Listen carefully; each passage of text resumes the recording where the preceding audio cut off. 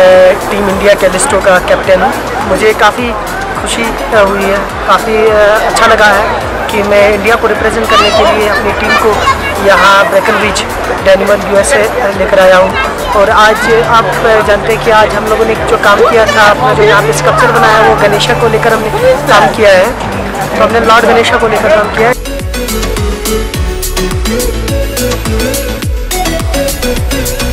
मैं team India का हिस्सा हूँ मुझे बहुत खुशी हो रही है आप लोगों से बात करते हुए कि हमने गणेशा का स्ट्रक्चर यूएसए में हमने बनाया और इस चैंपियनशिप में हिस्सा लिया।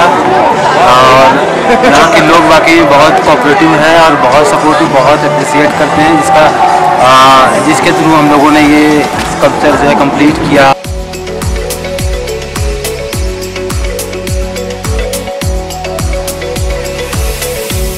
पहली बार अच्छा लगा मुझे यहाँ पे आए, आके हुए और हमने यहाँ गणेशा बनाया है। लोगों का काफ़ी अच्छा यहाँ पे रिस्पॉन्स मिला है हमें।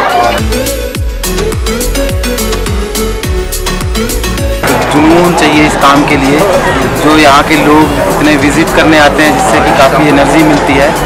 सो हम लोग आज इस इवेंट को प्रॉपर तरीके से कंप्लीट किए और लोगों का अप्रिसिएशन भी काफ़ी मिला। आशा करते हैं कि हम नेक्स्ट ईयर फिर अप्लाई करेंगे और फिर अच्छे से यहाँ पार्टिसिपेट करेंगे और आप लोगों का पूरा सहयोग मिलेगा हमें। क्योंकि हम लोग इस बार भी हमें सपोर्ट अच्छे से नहीं मिला फाइनेंशियल कम प्रॉब्लम से गुजरते रहे। फिर भी किसी तरह हम यहाँ पहुँचे और अपना इवेंट कंप्लीट किया। तो मैं उम्मीद करूँगा कि आप लोग हमारी सहायता ज़रूर करेंगे और हमारे सपोर्ट करेंगे हमारी टीम को very grateful. They worked very hard uh, and we everyone likes it here.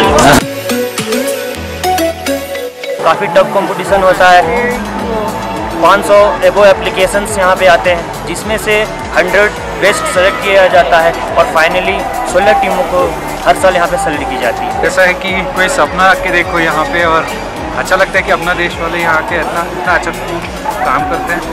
Really proud पैंसठ घंटे मिले थे काम करने के लिए तो काफ़ी टफ कंपटीशन था। यहाँ पे अलग अलग कंट्री से आर्टिस्ट आते हैं। पहले, सबसे पहले फॉर्म भरे जाते हैं। अलग अलग के जूरी मेंबर्स होते हैं। इस बार भी 400 प्लस एप्लीकेशन आई थी। इस competition international sports culture championship के लिए।